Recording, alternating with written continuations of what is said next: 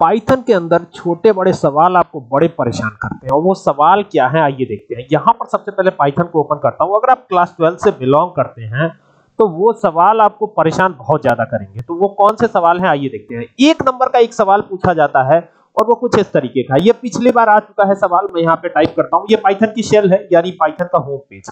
और इसी पर ये सवाल पूछा गया है। अब यहाँ पर पूछा गया है यहाँ five plus three multiply by multiply by three है और डिवाइड बाई टू है।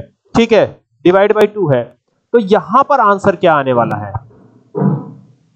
तो यहाँ पर जो आंसर है वो किस हिसाब से कैलकुलेट होगा? तो थ्री थ्री अब देखिए, ये थ्री पे थ्री का पावर है।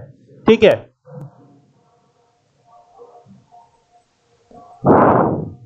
तो थ्री पे थ्री के पावर का मतलब हुआ थ्री थ्री जा नाइन और थ्री जा ट्वेंटी सेवन तो इसका तो मतलब आ जाएगा ट्वेंटी सेवन यहाँ पर देखिए मैं लिख भी देता हूँ। यहाँ पर इसका मतलब हो जाएगा ट्वेंटी सेवन इसको सॉल्व किया हमने। अब ट्वेंटी सेवन को टू से अब डिवाइड करेंगे तो कैसे होगा ये? टू से डिवाइड करेंगे ट्वेंटी सेवन को तो आंसर क्या आएगा? बताइए। यहाँ पे आ जाएगा थर्टीन पॉइंट फाइव क्या आ जाएगा? थर्टीन पॉइंट फाइव ठीक है ना? तो थर्टीन पॉइंट फाइव तो आंसर आ गया। और थर्टीन पॉइंट फाइव में फाइव जब जोड़ेंगे आप तो कितना आएगा? 18.5 तो यही आपका आंसर आने वाला है। देख सकते हैं यहाँ पे। तो ये इस तरीके से सॉल्व करना है आपको और एक नंबर बड़े ही आसानी से मिल जाएगा आपके class twelfth CBSE board exam में, ठीक है ना? ओके